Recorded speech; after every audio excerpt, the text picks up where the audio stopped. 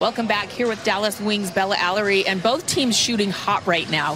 What do you guys have to do defensively to start limiting some of Phoenix's looks? Yeah, we got to limit inside touches for Griner, make sure she's not getting kicks back out. But I think we're playing well. We're playing aggressively on the defensive end.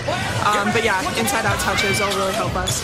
The pace has been up and down, lots of scoring, not many breaks. How do you guys withstand that? I think we're good. We're young. We're in good shape. So we've been training for this. So um, we feel good out there, and we have a lot of people to come in and bring energy every time. All right. Thank you, Bella. Thank you.